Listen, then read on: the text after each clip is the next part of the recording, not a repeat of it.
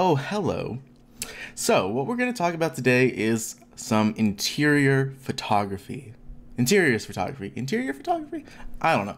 Anyway, what we're going to do is we're going to edit this photo. We're going to retouch it. We're going to get rid of all the stuff, all this nonsense, all that and that. We're going to get rid of all that. We're going to blend multiple exposures, get our window pulls and an ambient. So, with that being said, we need to go ahead and jump right into this. So, Canon T3i. This is what it was shot with, with a Canon 10 to 22 millimeter EFS lens. Pretty nice setup for real estate. I don't think you can get a much more simpler setup, but uh, it works. It works really well. Um, lit with a Godox AD200. Also, you can get them as the Flashpoint variants. Uh, or the versions, I guess. They're both the pretty much they're both pretty much the same.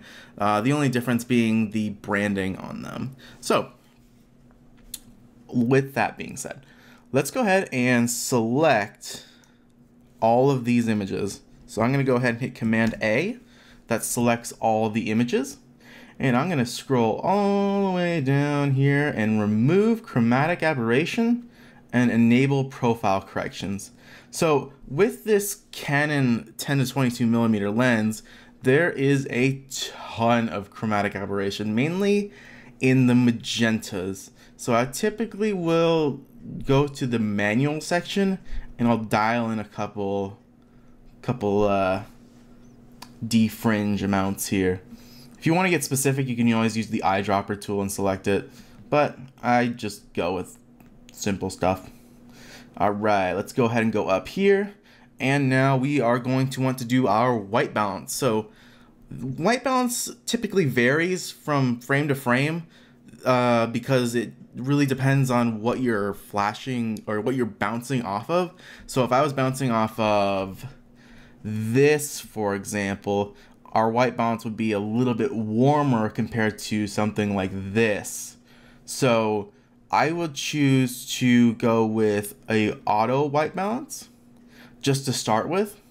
And then I'll use the histogram uh, to basically, uh, whoa, that was my hand. Can you hear that? Gross.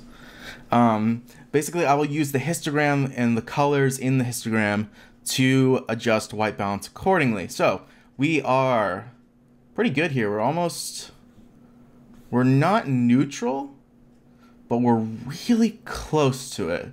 So if we deselect by hitting Command D and go to our first image here, I'm gonna bring the exposure down just a hair. And I will use my arrow keys, my up and down arrow keys, to adjust this. So, so you see this little tiny sliver of blue? That means we're too cool.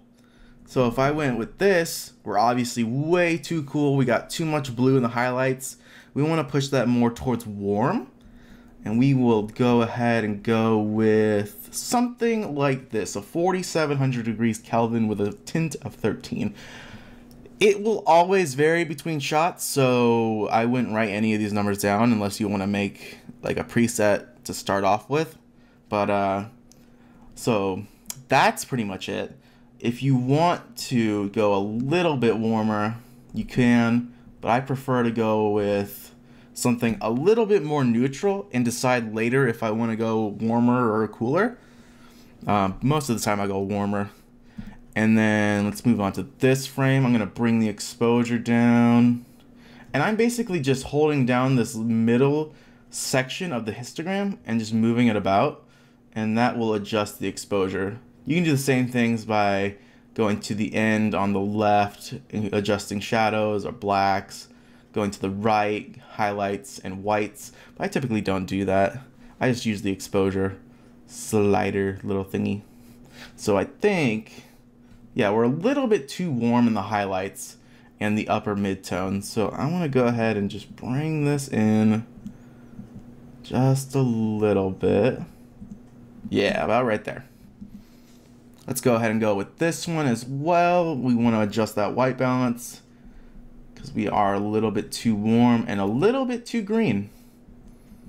Oh, that's a little bit too much. So around there. And maybe put a little bit of magenta in that tint. So let's go ahead and go to this one. Now I wish you could just take like a section and just white balance it off that. Harper, you're being loud. Can you guys hear that? That's my dog.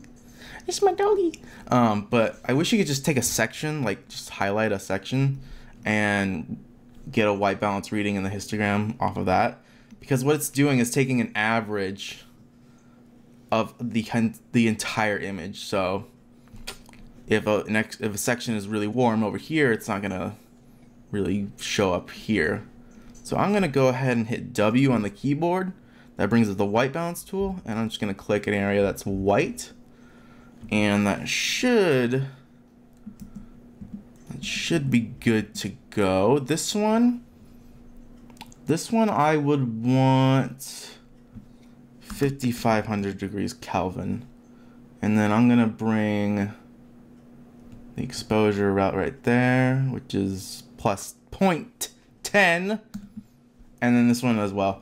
So 5500 degrees Kelvin, and I'm pointing this flash at these windows right here. So let's go ahead and bring this up just a hair. And then the ambient, I usually don't touch the white balance for unless I'm trying to do something really specific with it. So it's gonna go into luminosity blend mode, which doesn't take any of the color, it just takes the brightness value and and it blends it that way. So we don't really need to worry about the color.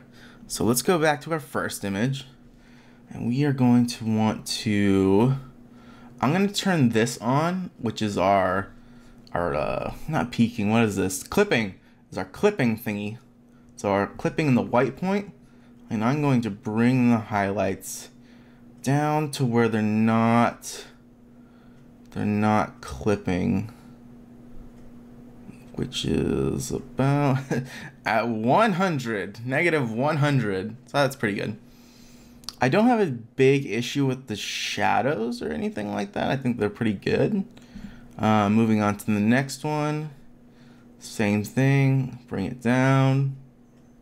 Bring the highlights down. I think right there, whoop, right about there. It's negative 78.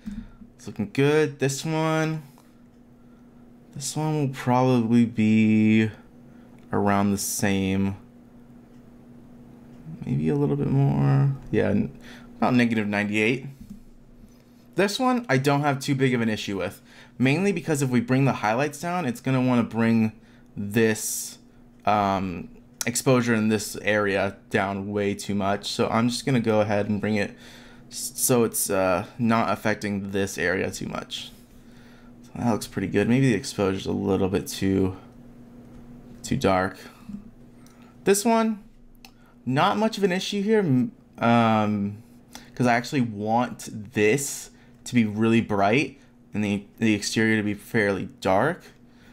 Um, I'm not too worried about the the uh, the sky or anything like that.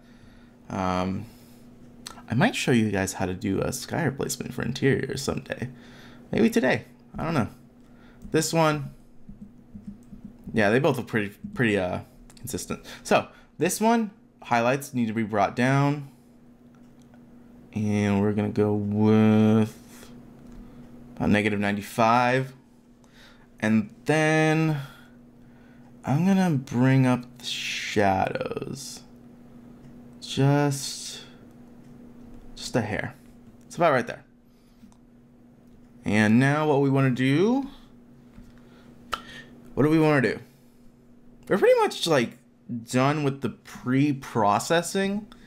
If you guys want to put like your own little touches on it, Maybe this is a little bit too cool. Yeah, it's a little bit too cool. Yeah, there we go. That one's also a little bit too cool. Maybe my eyes are all wonky. Yeah, those look fairly consistent. Okay, cool. Now that we have everything pre-processed, we need to Command A That's going to select all the images, right click, and edit and open as layers in Photoshop. So that's going to basically stack all your images as layers into one document. So it's easy to work with. You don't have to drag and drop a bunch of uh, layers into one document. This basically does that all for you. So while this is loading, I need to check my phone real quick. I have a new post. Oh, interesting. So let's get to it. Okay, so the layers are not in order. You can always go in and just like rearrange them like this. Um, I'm not going to do that since I shoot this in a very specific way to the point where I can arrange these in reverse and it basically gets it about 98% the way I want it to. So we're going to go highlight all these layers. So I'm going to select the top layer, hold down shift, select the bottom layer, or you can always go to select all layers. And I'm to go layer, arrange, reverse. That's to reverse all the layers in the stack. So now our top layer is now at the bottom and our these layers will get blended. So I'm to want this on top because I want to blend these as our base. So I'm to put a layer mask on that. Go to G for the burr, uh, the not the brush, the gradient, and I'm going to go up here to the gradient editor and I'm going to choose foreground to transparent.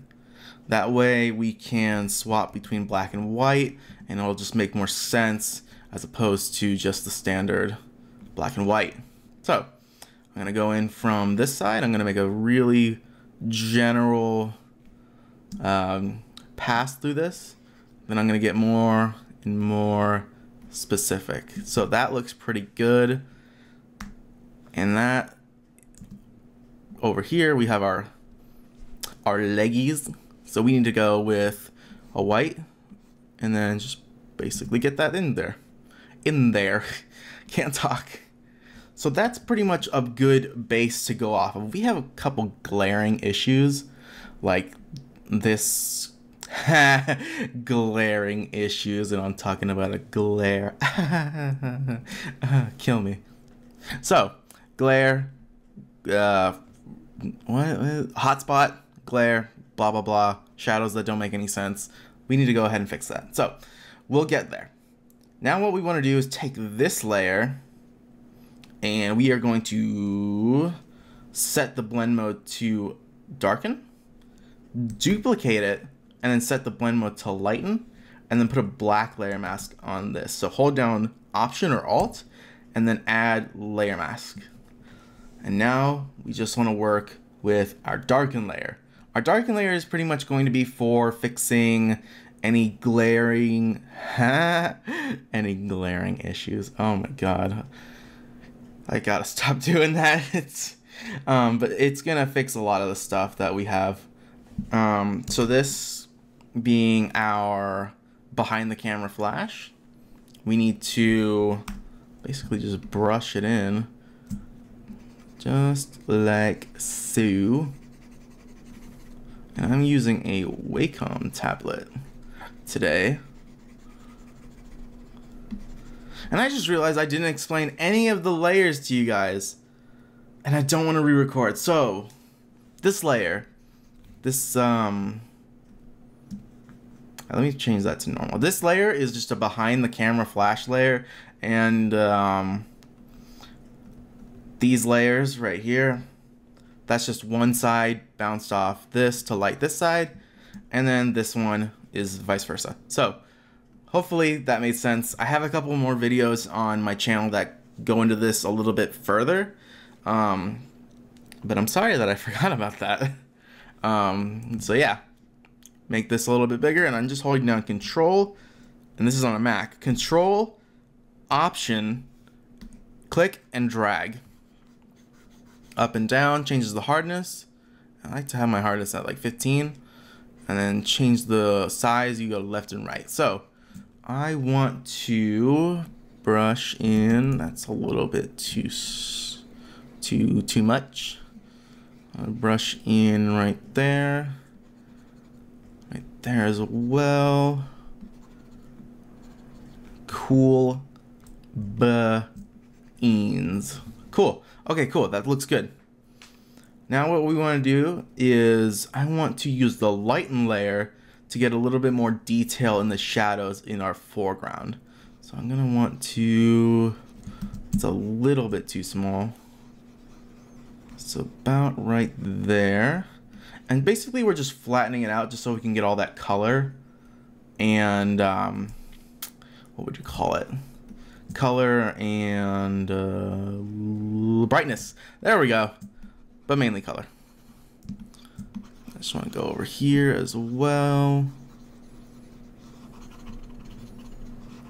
Get a little bit underneath these cabinets.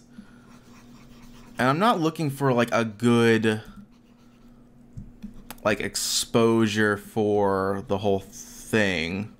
I'm looking at these dark areas and I'm going, okay, these are a little bit too dark. When I blend the image in luminosity or blend the ambient in luminosity, it's not going to get any of that color because there's no data there. Same thing goes with white. So let's go ahead and blend this. I'm going to change the blend mode to lighten. Lighten or screen? Do I want to go lighten or screen? Lighten. I'm going to hold down option, add a layer mask. And we're just going to paint. Okay. That looks real snazzy. I think I'm a little bit in that reflection, so. Yeah, there we go. Cool beans. I think it's a little bit too bright, so let me drop the opacity. Yeah, about like 82%. That's looking real good.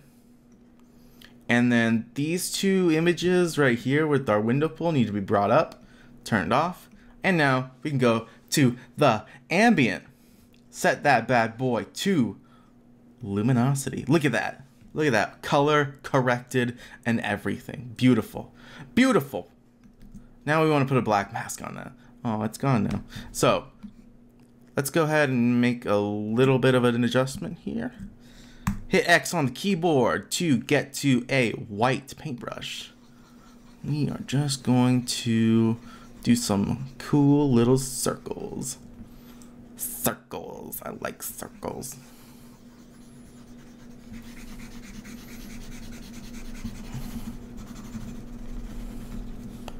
So, yeah, that looks super good. Except for maybe over here, it's a little bit too much.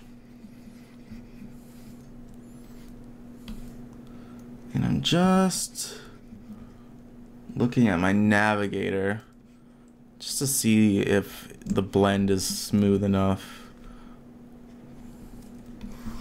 Okay. Looks pretty good. We got some wicked moire right here. Jesus. That's not good at all. But I don't know how to fix it. I mean, I kind of know how to fix it in Lightroom, but like not, not really.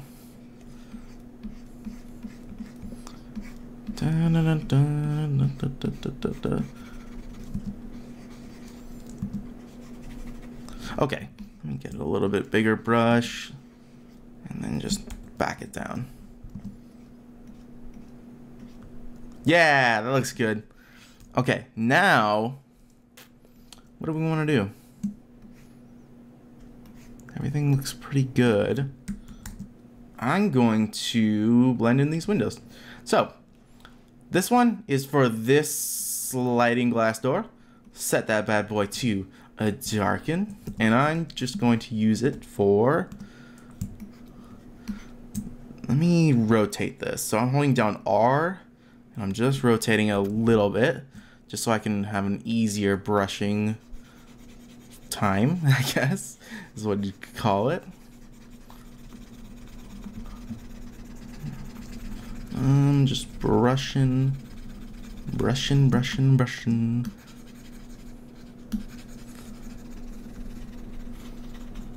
Okay, that looks pretty good. I'm actually tilting my head as I'm doing this.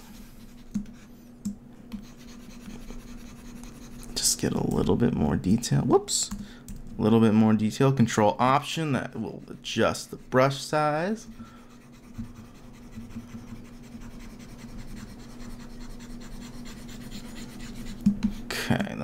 Good. Let's see if I missed anything. Yeah.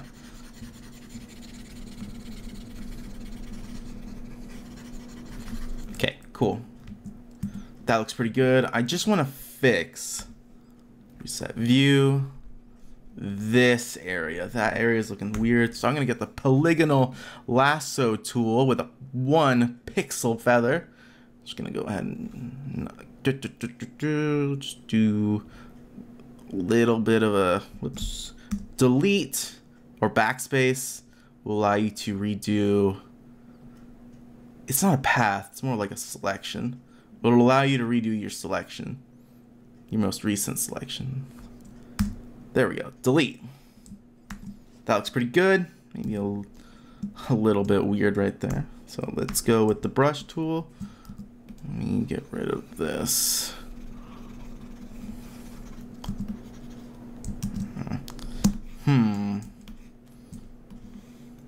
No.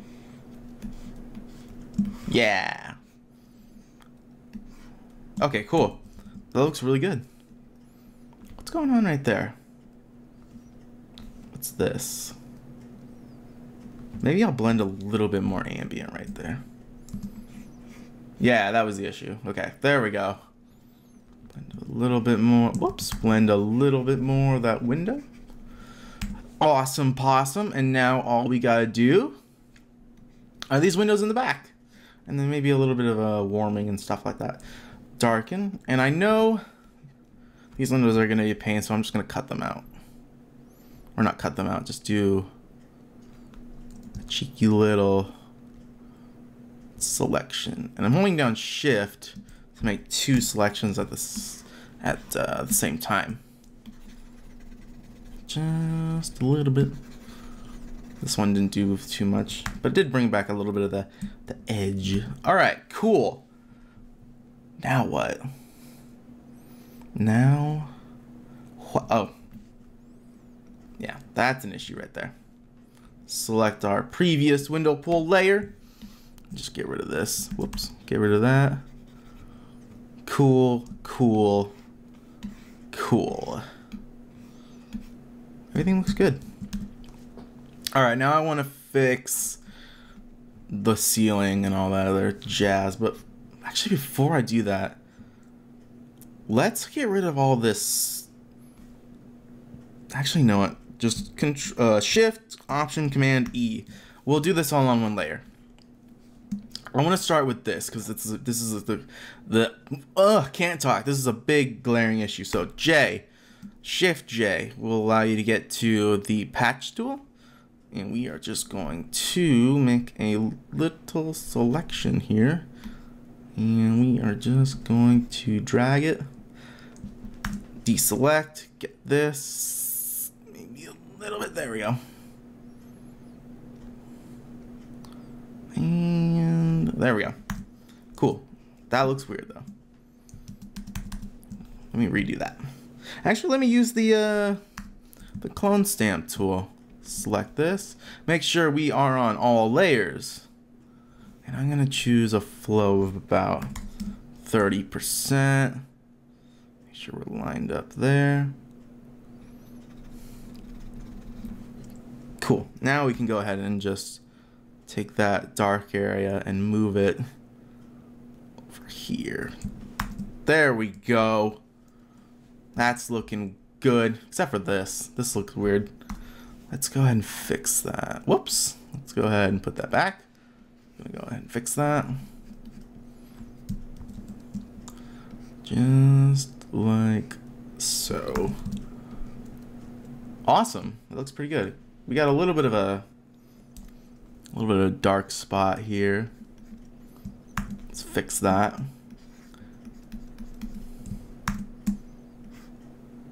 Right, cool. That's gonna be good. Take this, move that over. And I'm gonna take this, woo, that's a little bit too much. Take this, move that over. This one's gonna be a little bit more difficult, so we're gonna come back to that. J gets you the patch tool. Just move that over.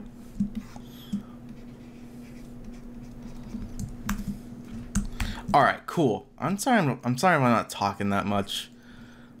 I kind of get into this a little bit too much. So, this is bothering me though. So, S. Get a little bit of that right there. And we'll just paint. And maybe get rid of this. Cool, cool, cool. What else? Oh yeah, this thing. That thing, that thingy thing. So I'm gonna want to make a pretty good selection of this, except for that. Because if I do make a selection of this, it's gonna smear. Yeah, that's not looking that great. Let me go to the lasso tool and make sure my lasso's at somewhere around 15%, just to get a little bit of feathering there. Maybe move that up. Cool. And now we will fix that. Oops. A little bit too far there. Yeah, that looks believable. No one's going to question that. And then I want to fix the ceiling. It's looking a little bit drab, a little bit dull.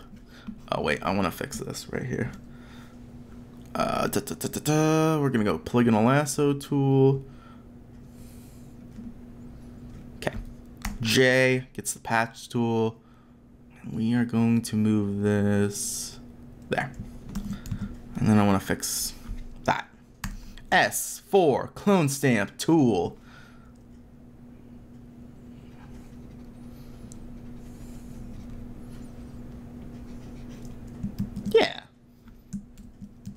No one's going to question that. I would, because I know what happened there. But no one's going to question it. All right, cool. Let's go ahead and fix the ceiling. So I want to do a pen tool path. And we are going to make sure that our rubber band is on. And we are going to make a cool little path. Hold down command and click a point.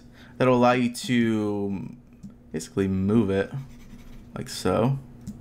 And I like to do these small, not too, not too small, but like little increments.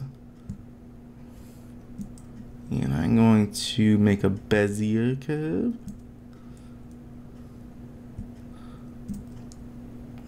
And that's just done by pressing and holding. Clicking and holding, I should say. Let me move this over here. Command. Let me move this over here. Command. That looks good. Okay, cool. Fix this right there. Let me get this all the way done.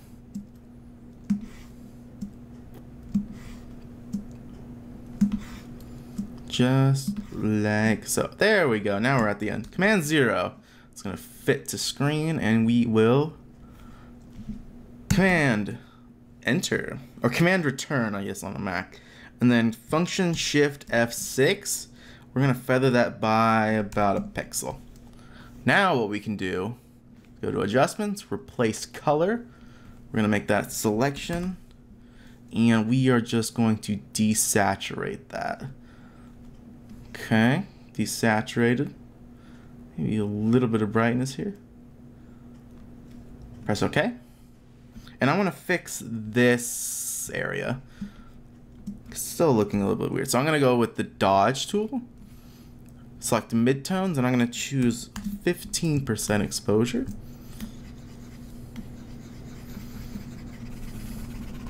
And we're just going to paint a little bit.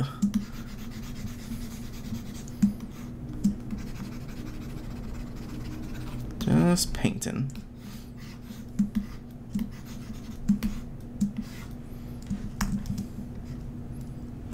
All right. Looks pretty good. Looks pretty convincing to me. All right, now I kind of want to warm this up because it's looking a little bit drab. Let's go ahead and make a... Where is it? What am I looking for? Can't find it. Photo filter. Yeah, photo filter, and then set that bad boy to soft light. And I'm gonna choose somewhere around 40 and then or 30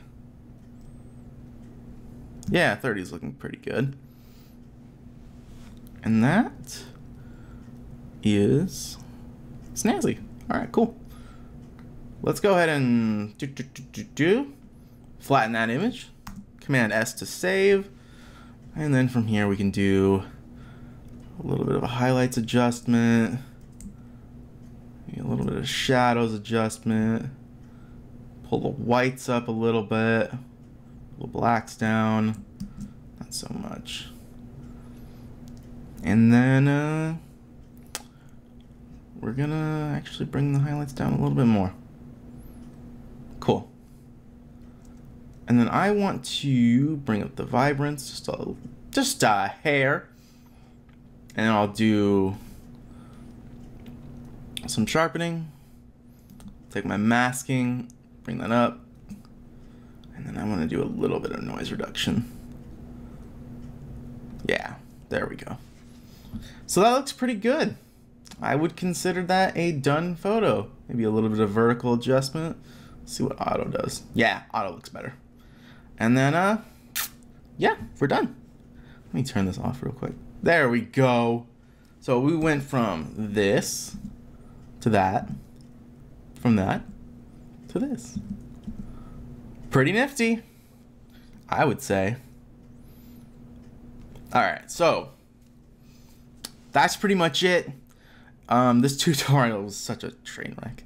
Um, I wish I explained things a little bit better, but that's you live and you learn. Okay, you live and you learn. All right. Anyway, take care, everyone.